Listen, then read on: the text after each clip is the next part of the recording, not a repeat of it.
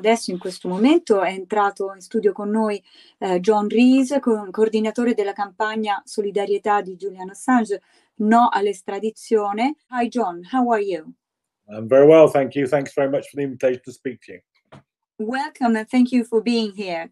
Uh, so you are the coordinator for the campaign uh, of solidarity uh, for Julian Assange and no extradition, right? Exactly, yeah. So t- can you tell me uh, a little bit more about what you're doing?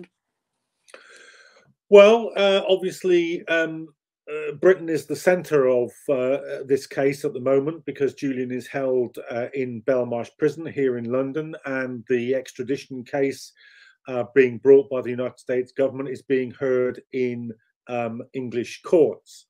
And so we're at the epicenter of this cam- of this campaign. And um, in the campaign, um, we think it's important to put this case um, in the simplest and eh, clearest possible terms. Of course, Julian's um, incarceration in the Ecuadorian embassy and his time in prison here uh, now lasts well over a decade, and there's been uh, a, a lot of court time and there's been a lot of complexity in the case. But we feel it's important to reduce um, this um, case to its essentials. And I would say the essentials of this case are as follows there are only really two sorts of news. There's news that you get uh, from government press releases and from the press handouts of the major corporations. That's the kind of official story. And then there's other kinds of news which governments and corporations don't want you to hear. And that news inevitably comes from people who have got information which isn't in the public domain and which governments and corporations don't want to be in the public domain.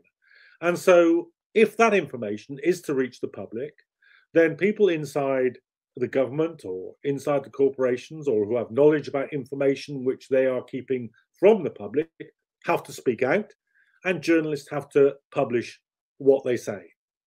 And that's exactly what WikiLeaks and Julian Assange did.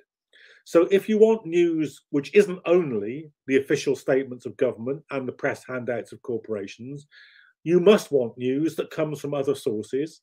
And those other sources will be subject to pressure, sometimes to legal action, by people with power to try and stop that information reaching the ears of the public. And if you want to hear that, if you want to know what decisions are being taken in private, behind closed doors, which are vital decisions, perhaps about war and peace, perhaps about jobs, perhaps about your income, perhaps about your civil liberties, then you are bound to be a supporter of Julian Assange and WikiLeaks because they brought to public notice things which states and corporations didn't want to be publicly known. So that's the core of this case. And the United States is trying to halt that process, is trying to uh, use the Assange case to frighten and to intimidate all journalists and all publishers because it's using, for the first time ever, uh, the 1917 Espionage Act against a journalist. In other words, it's trying to say that what journalists do is the same as spying. It's using an act that was designed to stop spying to try and stop journalism. Now, clearly, these aren't the same thing. A spy takes information, secret information from one state, and gives it to another state in order to give that state an advantage against the first state. Julian Assange and WikiLeaks weren't taking information from America or from many other states around the world and giving it to another state. They were giving it to the public.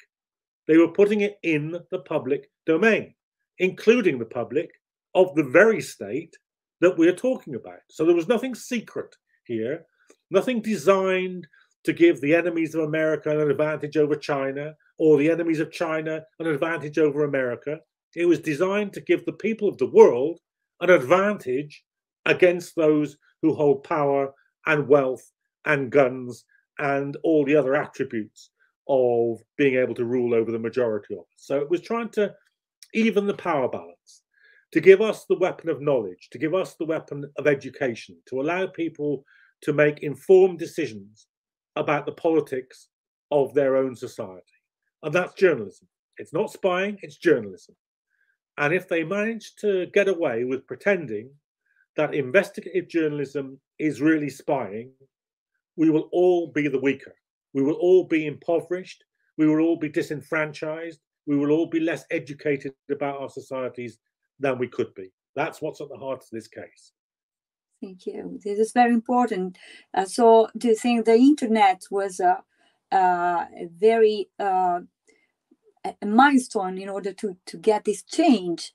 Uh, before internet, the internet, the information was only one direction from the official governments and uh, and so on. Instead, after the internet, journalism and uh, and journalists like Assange could spread all the, the news, the counter information uh, through this channel to to people, right?